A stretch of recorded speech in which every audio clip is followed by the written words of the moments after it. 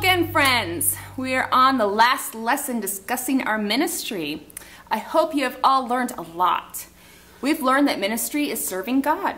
It is a way to show and tell people about Jesus. Jesus asks that we go and tell all the world the news about him.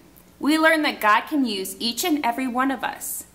We've learned that what to do when we are scared or aren't perfect in our ministry.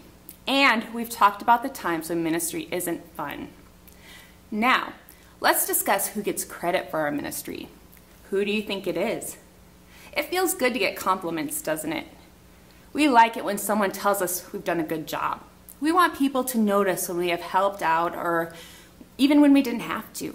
It's nice to be extra appreciated. Often in ministry, though, we don't and we shouldn't get compliments. What I mean is, we are being obedient to God. We are doing what He has asked us to do, and through us, He is helping people. Let's pretend like I'm having a really hard week. I'm very, very sad. My husband, Teacher Shane, is praying, and the Holy Spirit tells him that I need something special to help me out. So, Teacher Shane comes to me and offers to pray for me. Then he takes me out to our nice dinner.